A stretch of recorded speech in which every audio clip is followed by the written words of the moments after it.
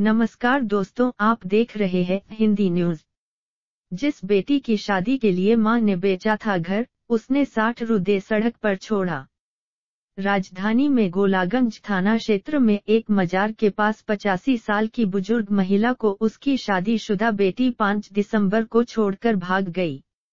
दो घंटे से ज़्यादा देर तक वो मजार के पास ऐसे ही बैठी रही। किसी ने फ़ोन कर हेल्पेज इंडिया संस्था को बुलाया। जिसने उनका इलाज करवाया। उनकी साड़ी में साठ रुपए बंधे थे और कुछ ज़रूरी कागजात मिले। इसके आधार पर अब उस संस्था के लोग उस महिला को परिवार से मिलाने में जुट गए हैं। मखाना देवी 5 दिसंबर 2017 को शाम करीब 8 बजे लखनऊ के गोलागंज में बने एक मजार के पास बेहोशी की हालत में पड़ी थीं।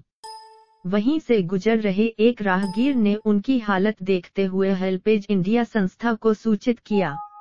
संस्था के लोगों ने उन्हें शहर के एक प्राइवेट हॉस्पिटल के डॉक्टर सर्वेश त्रिपाठी को दिखाया, वहीं उनका इलाज हुआ।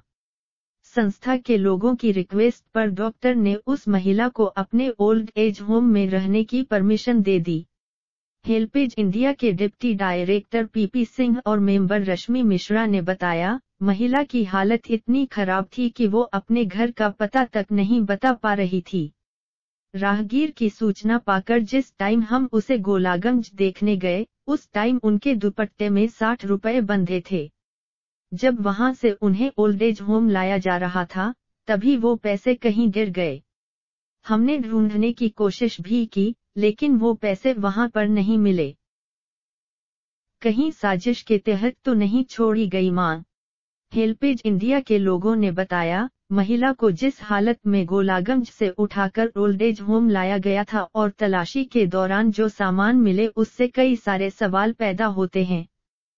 सवाल ये कि इतनी शाम को ये महिला अपने घर से गोलागंज मजार के पास अकेले आई कैसे? उसके पास बर्तन दवाई और कपड़े मिलने का क्या मतलब है?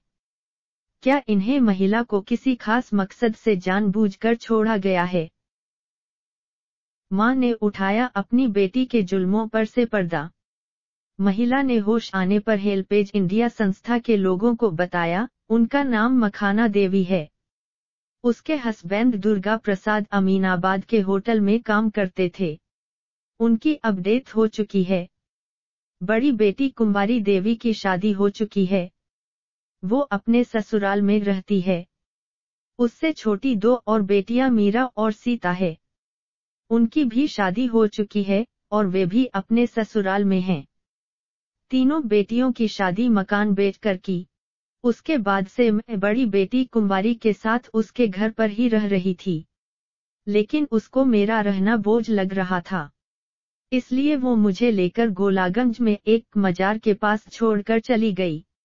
अब मैं वापस अपनी बेटी के पास नहीं जाना चाहती। मैं अब यहीं पर रहना चाहती हूँ। धन्यवाद।